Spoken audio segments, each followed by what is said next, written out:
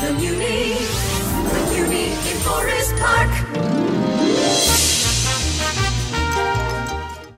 I should give a shout out to uh, to Rolando Diaz, who is the actual inspiration Tell the story. for Glass Addams. So when uh, when I was first trying to like figure out who this guy is, um, I do I do a Spanish accent because a lot of people knew the the sitcom, um, and where he's very so much the cigar, you know, um, and uh, and then there's of course Raul Julia from the film, and I think the the musical uh, there's a lot of Spanish influence in the music and a lot of Spanish jokes in the accent, so I knew that there was an accent involved. And I went back and I directed the musical at my old high school for four years, and one of the kids in the show was named Alex Diaz, and his father was named Rolando Diaz.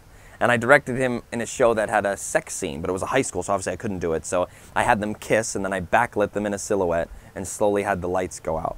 And I'll never forget that at the end of the performance, his father, Rolando Diaz, came up to me and said, Robert, when the lights went down, I knew they were making love. And when I was preparing for this, I was trying to find my line readings, and I was like, when the lights went down, I knew they were making love. That's him. That is Gomez. It's Rolando Diaz. And I immediately texted my friend Alex, and I said, I'm basically playing your father at the Muny. Oh my god.